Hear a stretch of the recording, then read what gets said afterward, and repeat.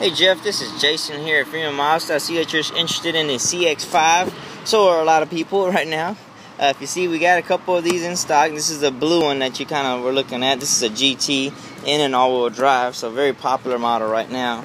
Uh, you get your projector headlamps, the standard. Uh, the GTs come with the uh, fog lamps, the 19-inch wheels, the bigger wheels. So that's really the, the main differences from uh, the GT So the rest on the exterior is going to be the wheel package and then the fog lamps.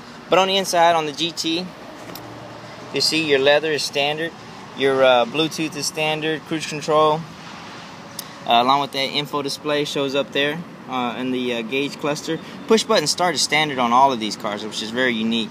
Uh, along with that, you got your uh, 5.8 inch touchscreen, which is standard on the Grand Tourings, along with the rear view camera. But the real big selling point to these cars is this right here. Even on the all-wheel drive, your estimated fuel assumption uh, in the city is 25 and on a highway 31. So you got to imagine you can get 31. You have to be able to get 31 anywhere in the country. So in Texas, it being so flat, you can uh, pretty much uh, predict that you're going to get more than that. Uh, so very fuel efficient. And every single one, very sharp looking. Dual exhaust, European style tail lights. Uh, these have a very unique uh, trunk space. It has a 40-40-20 split on the inside. Uh, but give me a call if there's a good time for you to come out and take a look at one in person. My direct line is 972 815 2854. And again, my name is Jayson. Thank you.